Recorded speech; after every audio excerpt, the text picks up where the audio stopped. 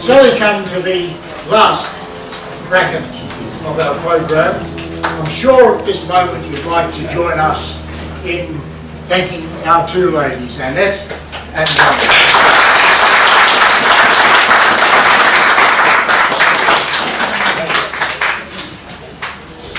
We have a beautiful Welsh hymn tune to sing for you next.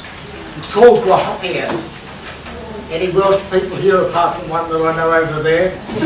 Well, if you know what that means, you can tell me because I haven't got a clue. But I know the words that we're going to sing in English, and they are, I hear thy welcome voice that calls me, Lord, to thee.